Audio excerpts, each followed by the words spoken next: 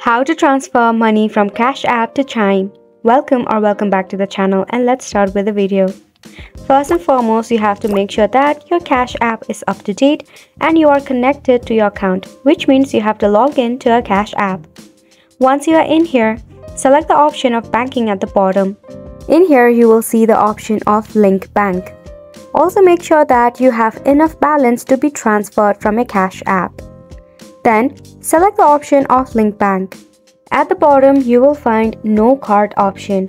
You have to go ahead and select the option of No Card, from which you will be displayed with all of this option of Select Your Bank. In here, you have to go ahead and find the banking option of Chime. Select Chime. If you cannot find a Chime from here, just tap on the search bar and search for Chime. Once you select on Chime, you will have to log into your account. For that, enter credential, enter email address or password, and just go ahead and tap on submit. If you forgot your password, select the option of reset password.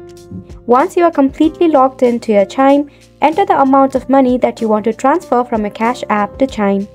And just like that, you'll be easily able to transfer money from your Cash App. Wasn't it simple?